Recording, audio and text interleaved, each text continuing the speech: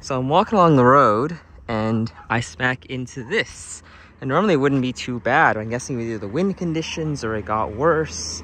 It's just that. And yes, if you're like this, let me zoom out, on the sidewalk, you can get right past it. But based off where I'm walking, I did smack right into it. In fact, if the wind picked up, it would move it further out into the sidewalk area. This is the same house that has this thing jutting halfway out into the sidewalk that I did phone in back in, I want to say October, November time period, and it's still here. So they're famous for this kind of thing, and the city doesn't care.